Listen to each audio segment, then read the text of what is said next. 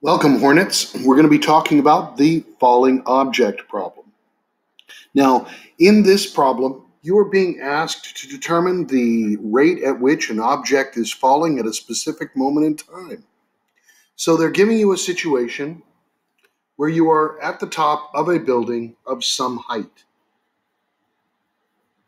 You're going to be dropping that object and it will fall like so. There are two situations that we have to worry about here. Let me just give you the formulas that we're going to work with. In feet, we have the limit as t approaches a for s of a minus s of t over a minus t. Notice that's a slope formula. y2 minus y1 over x2 minus x1. Now, uh, the formula, the equation that we're working with uh, is s of t equals negative 16t squared plus the height in feet. That's going to be referring to the height of this object. In meters, we're using the same formula, but now the formula for the uh, movement is s of t equals minus 4.9 t squared plus the height in meters. So let's take a look and see how this is going to work. We're going to work with feet first, height in feet. And I'm going to give you the equation S of t is equal to negative 16t squared, and I'm going to say plus 300. But we're going to find our height at uh, time equals, uh, let's go ahead and find at uh, one second and then two, two seconds. So t equals one second, and then t equals 2. Now we're applying that limit. So we're saying that the limit as t is approaching 1 for s of 1 minus s of t divided by 1 minus t.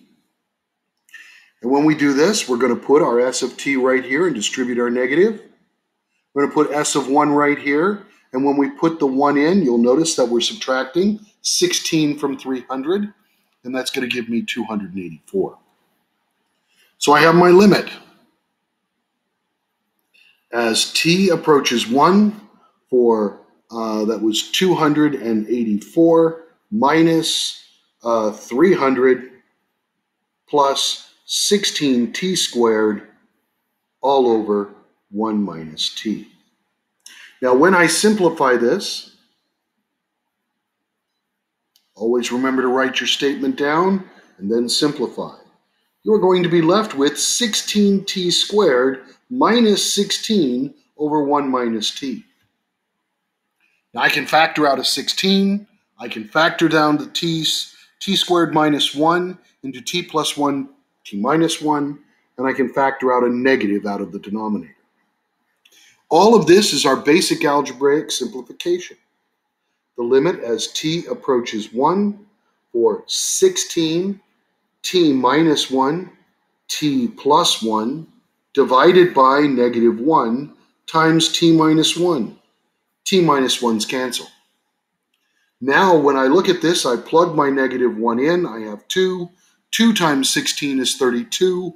And the limit as t approaches 1 is going to end up being negative 32 and this is feet per minute, uh, feet per second, excuse me. We are talking about an object in seconds. So right here, I have now found the rate at which my object is falling from that building at a height of 300 feet at one second. This is what is referred to as an instantaneous rate of change. It's very different from an average rate of change. An average rate of change is simply a comparison of two points. For example, if I wanted the average rate of change between 0 to 1, I'm just looking at the slope between 0 and 1 for this function. If I'm working with the other formula, meters per second, everything is going to work the exact same way. So I'm still looking at the limit as t. Let's go ahead and approach 2 this time. That was our second option. We're looking at s of 2 minus s of t divided by, and we're now looking at uh, one, um, 2 minus t.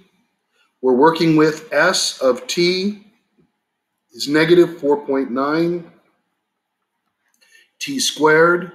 Um, and let's go ahead and use 150 meters in height. So I'm going to be a little bit more careful. I now have a decimal. That's one thing about the, uh, the meters. So I'm going to be plugging in my 2. This is negative 4.9 times 4. And I'm getting uh, my negative 19.6. I'm subtracting 150. Make sure I've got that correct. Oh, that's a height of positive 150. There we go. Plus 150. And I now have S of 2 is 130.4. So here we go. The limit